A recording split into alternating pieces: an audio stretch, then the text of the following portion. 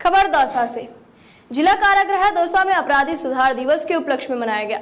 समाज कल्याण सप्ताह में अतिथि अधीक्षक राधेश्याम रैगर व सदस्य मुकेश ठीकरिया द्वारा गांधी की प्रतिमा पर दीप प्रज्वलित कर कार्यक्रम का शुभारंभ किया गया।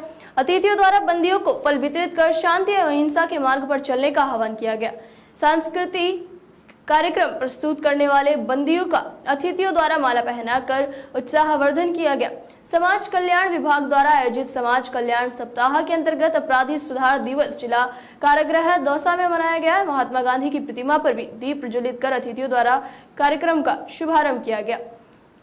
बंदियों की पैरो पैरोल परिवीक्षा अधिनियम के बारे में समाज कल्याण अधिकारी व अधीक्षक राजकीय संप्रेक्षण एवं किशोर गृह दौसा राधेश्याम रैगर द्वारा जानकारी दी गई। जिला बाल कल्याण समिति न्यायपीठ दौसा के सदस्य मुकेश ठीकरिया ने अपने जीवन में अच्छाई को अपनाने बुराई को त्याग कर एक आदर्श समाज रूपी व्यक्ति बनने हेतु बंदियों को बीच अपने विचार रखे एवं अधिकारियों के बारे में अधिकारों के बारे में जानकारी दी। अधिवक्ता महावीर चितोशिया द्वारा जिला विधिक सेवा प्राधिकरण अधिनियम में लोक अदालत की जानकारी दी गई।